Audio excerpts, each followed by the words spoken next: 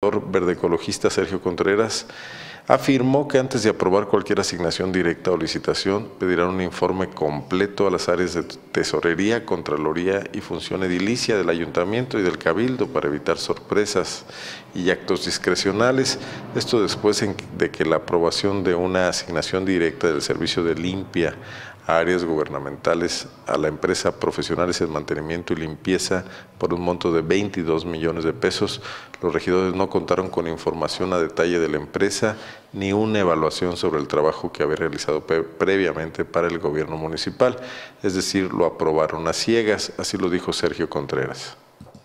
Pero eh, que pues la verdad el dictamen Bania todavía para mí, a mi manera de ver, un dictamen muy general, ¿no? no van mucho al detalle, no se profundiza también en las causales de por qué las otras empresas, eh, aunque hubiera una diferencia de 100 mil pesos, pues, y que era obviamente la razón por la que íbamos a asignar esa diferencia de 100 mil pesos, pero no había más elementos para poder hacer una evaluación a fondo.